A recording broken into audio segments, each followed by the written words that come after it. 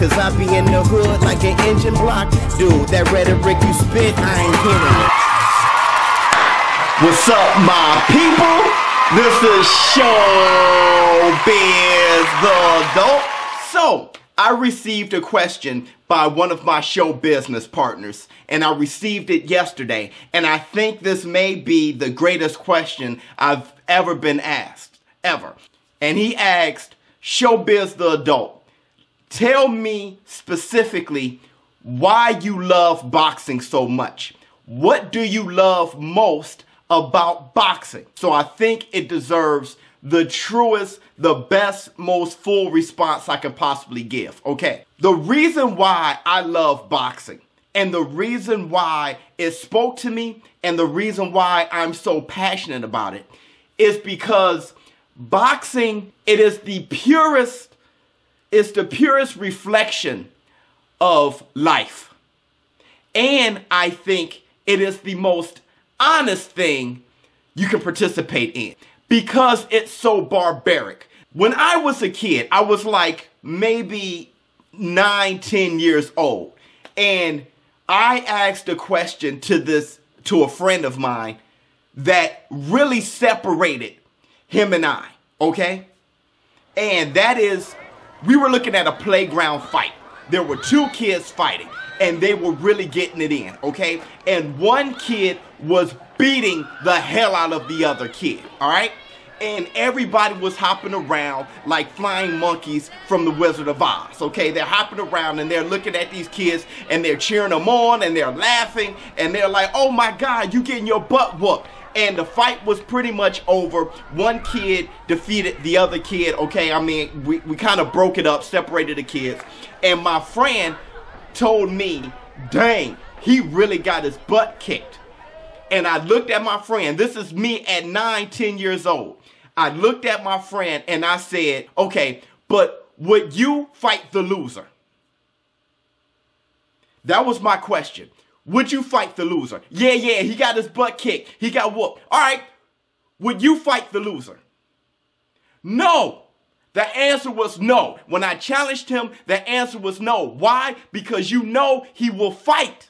See, that's why I got boxing as the most honest and purest. It is the big, it creates the biggest gap between um, someone real and someone fake. It creates the biggest gap. Now, there may there's some grades in between where you get closer and closer to real, all right? But boxing creates that because it's so intimate. Mano y mano. No one else can help us out. When you step in those ropes, when you step in that ring, you got a coach and you got two guys hashing it out, uh, taking care of their differences. All right. We all sit back in our living rooms, on our couch. We sit back and we criticize these guys that while we're sleeping, they're running miles. While we're on our couch catching up on our favorite shows, they're in the gym thinking about somebody who is over there preparing to kill them. I watch basketball. A guy goes to the hole, he gets fouled or something like that pretty hard. He hits the ground and he starts rolling around the court.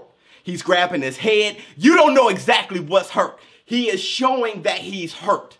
I'm showing everybody that I, I tried hard, I hit the ground, and I'm hurt. And then he gets up and something miraculous happens. He looked like he was going to die on that court. But he gets up and he starts running down the court like he never even got hurt because he wasn't that hurt to begin with. These athletes are trying to show that they're hurt. Boxing is different.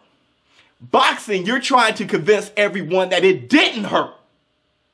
And that makes it a pure reflection of life. Parents, all you parents out there, when it's hard to pay the rent, when you don't know when the next meal is coming, you don't look at your child and you don't tell your child, hey man, I don't know uh, if we're going to be able to make it this month. No, you look at your child and you smile. Your child never sees the never see the speed bumps and the barriers and the potholes. Your child is smiling and laughing and you're dancing in front of your child and you're you're not showing any level of pain, discomfort, or hurt because you're trying to convince your child that life is not that rough right now. We're doing fine. And it's not on you. All of this is on me, and you're blind to it. You have no idea what's going on. That's what you do as a parent, and that's what boxers do in the ring all the time. In life, you should prepare. In boxing, they train. In life, you should set bars and challenges so you can grow and get better. And sometimes, sometimes you believe that you can do it. You're convinced that you can't because somebody shut you down. You get up again, and that challenge is just too great for you. And then you find out something about yourself. Do I get up again?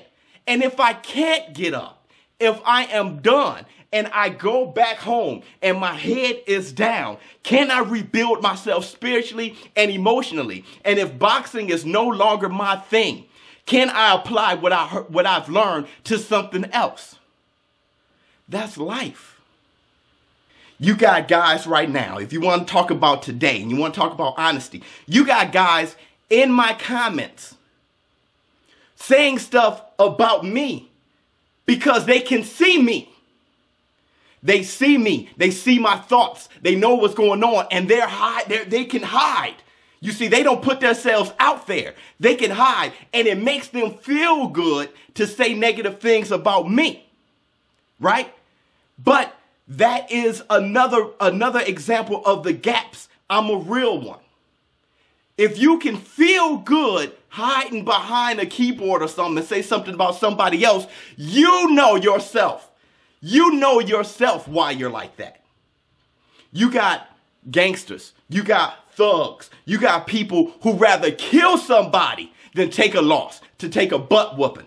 Okay? They rather kill somebody, affect their families forever because they're too afraid.